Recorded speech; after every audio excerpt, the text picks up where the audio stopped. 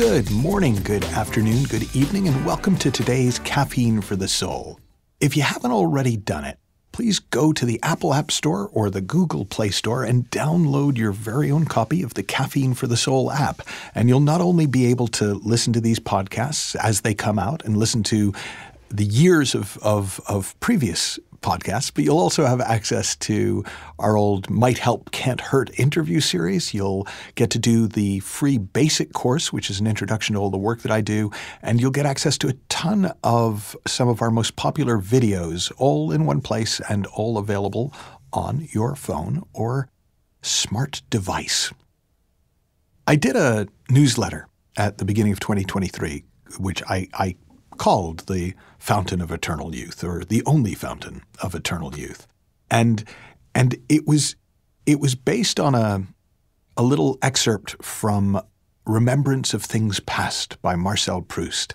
And you you may have heard uh, most people who know Proust who aren't like literary enjoyers who, who, who don't get off on reading 19th century French literature know him because of a quote that is often uh, translated as uh, the the only true voyage of discovery is not to visit new worlds, but to look with new eyes, and that's an incomplete translation.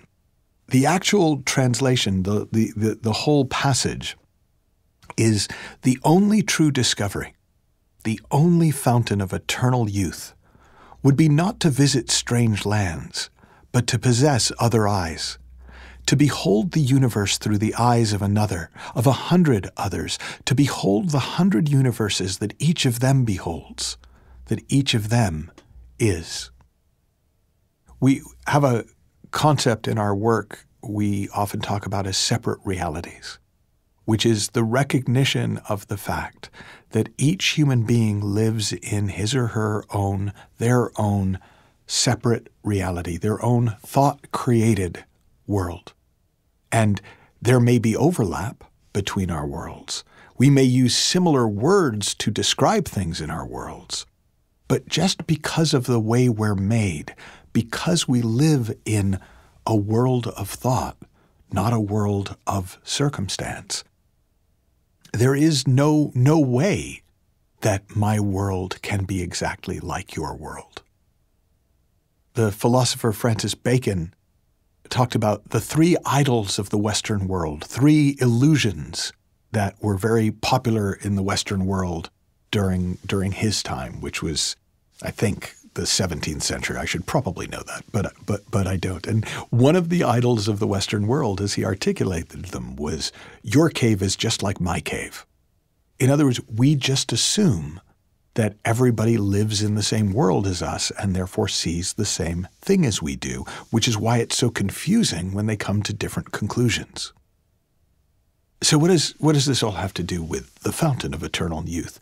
One of the things that I've learned to ask people on my programs is when they come back from an exercise or a break or an exploration that we've done together, I, I pretty much always ask them, what, have, what are you seeing new and fresh?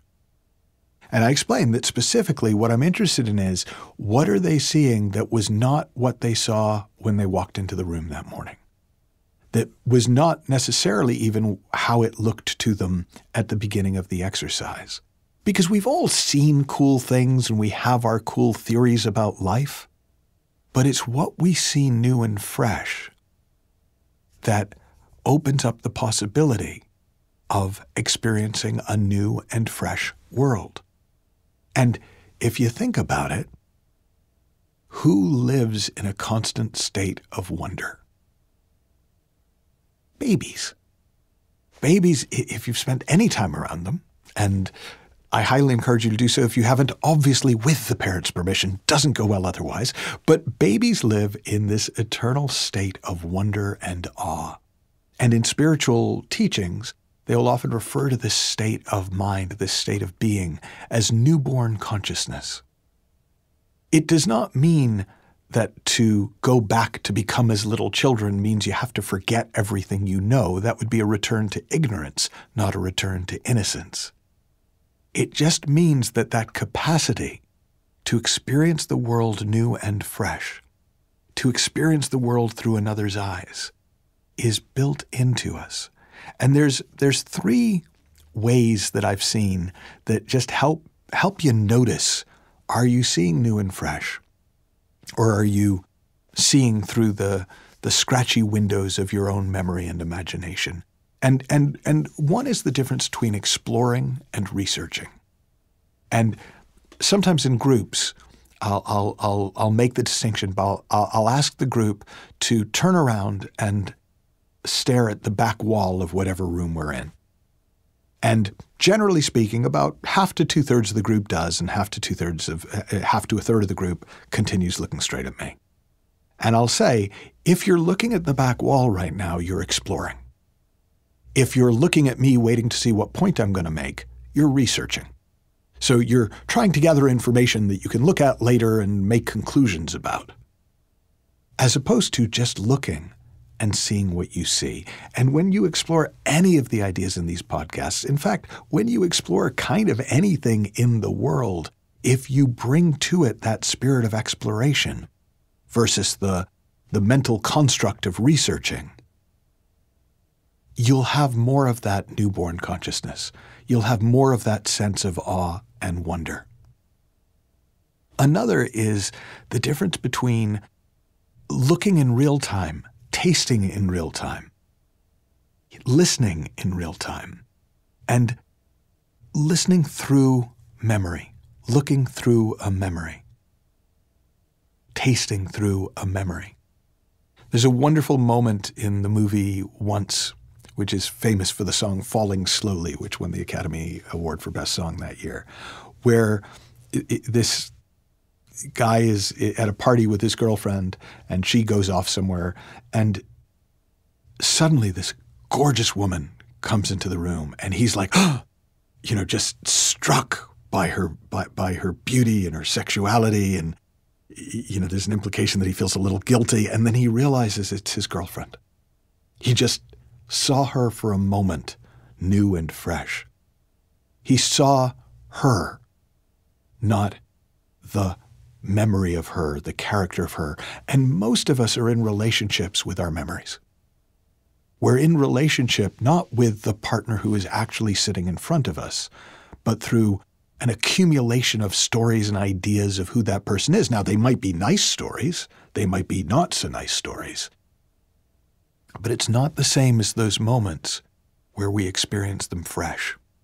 The Scottish mystic Syd Banks, on whose teachings a lot of my work are, are built, there was a sort of a running joke that every cup of tea Syd had was the best cup of tea he'd ever had.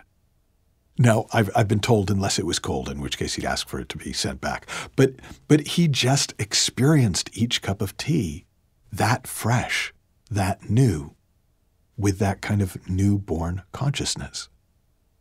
A, a third way I sometimes think about it is it's the difference between what is and what isn't.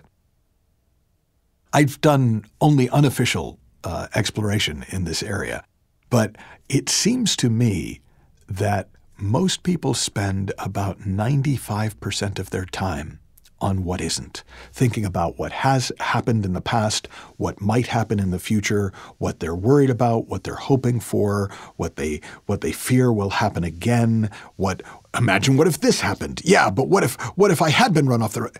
And and our minds are so filled with what isn't that we miss what is. And so another way to access that place of newborn consciousness, that new and fresh way of being in the world, is simply to focus on what is, even to enjoy what is, and to just ignore what isn't. But your, your homework for the week, your assignment, if you want to play with it, is to spend as much time this week as you can in newborn consciousness. Experience things new and fresh. Don't research, explore.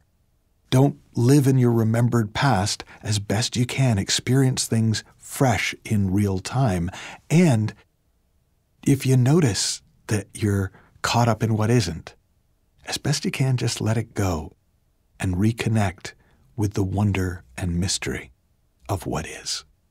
Have fun, learn heaps, happy exploring, and I'll talk with you soon.